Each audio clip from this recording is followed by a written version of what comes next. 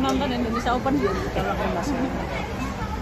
Ya, tadi kita nonton Gregoria melawan nomor satu di dunia dan kalah.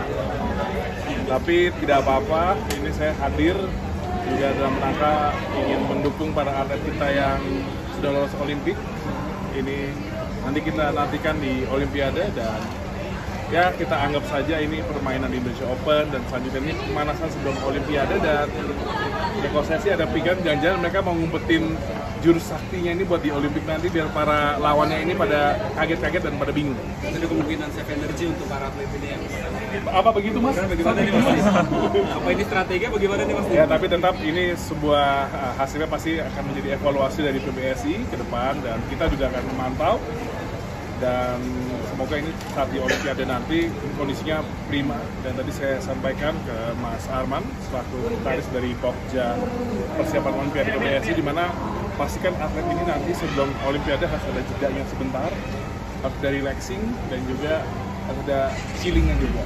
Karena ini mungkin sudah makin kencang juga pressure mereka ini menuju uh, Olimpiade dan Indonesia Open ini mungkin juga salah satu uh, jadi bagian dari itu. Contohnya Jojo ya.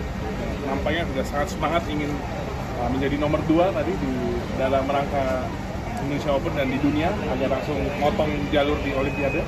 Dan ini akan pastinya otomatis akan menambah pressure ke depan sih dari tim akan melakukan uh, sekali lagi uh, treatment dari psikologi dan mungkin one on one dengan para atlet biar agar lebih uh, curated dan juga uh, lebih individual treatment. Mas ini atlet yang lolos Olimpiade udah habis semua di tempat tidak ada ke- kekhawatiran apa gimana? Uh, tadi itu yang saya sampaikan, saya tidak khawatir karena saya rasa memang pasti sudah ada pertimbangan baik dari pelatih maupun uh, atlet itu sendiri. Saya yakin di Olimpiade akan prima dan berhadapan dengan nomor-nomor satu di dunia juga akan siap. Persiapannya sejauh ini udah seperti apa mas? Persiapan para atlet mengingat Olimpiade kan udah bulan depan mas.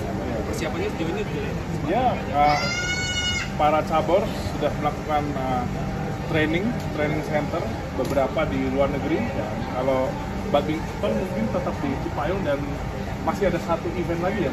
Tadi yang Cina, kalau kita ngobrol Australia. Oh, Australia tidak ikut. Saya. Tidak perlu ikut, agar lebih fokus dulu dan tetap saya rasa nomor satu adalah bagaimana kita menjaga mental dan juga hati para pemain ini menuju Olimpiade.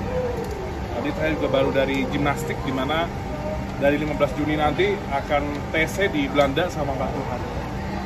Jadi semuanya sudah insya Allah maksimal kita doakan dan ayo para masyarakat Indonesia beri komentar yang positif yang banyak ke seluruh kolom komentar atlet-atlet kita.